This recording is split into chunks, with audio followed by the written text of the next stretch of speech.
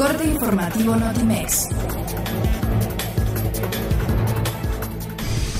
El presidente Andrés Manuel López Obrador nombró a Víctor Manuel Toledo como secretario de Medio Ambiente y Recursos Naturales, en sustitución de Josefa González Blanco Ortiz Mena, y al senador Ricardo Agüed como nuevo director de aduanas.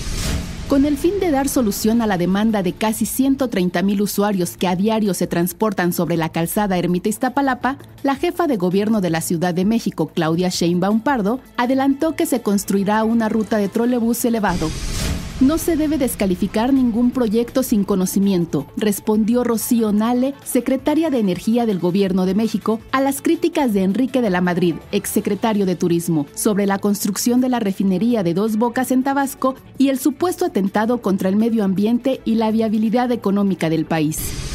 La bailarina mexicana Elisa Carrillo aseguró que entre sus prioridades está apoyar a niños y niñas con deseo y potencial para bailar y al mismo tiempo generar mecanismos para que personas con capacidades diferentes sean partícipes gozosos de la danza, no solamente como espectadores, sino como ejecutantes.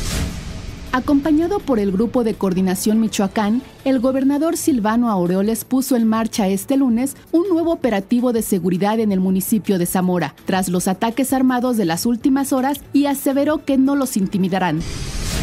La policía de Francia detuvo a cuatro personas por su presunta vinculación con el atentado explosivo ocurrido la semana pasada frente a una panadería en la ciudad de Lyon que causó 13 heridos, anunció la Fiscalía Antiterrorista de París.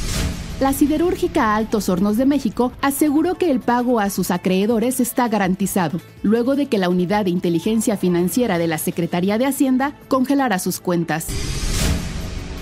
Notimex. Comunicación, global.